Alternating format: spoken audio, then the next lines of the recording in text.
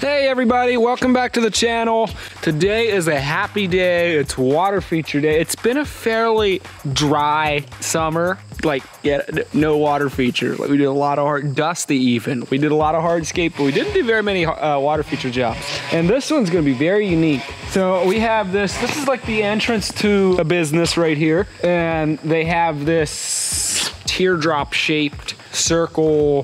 Their driveway goes the whole way around it. These people own a mining company, and so they have this one track of property that's just covered with beautiful boulders. There's some boulders in there the size of a car. They're huge and they're gorgeous, moss growing on them. It's gonna be a unique looking feature.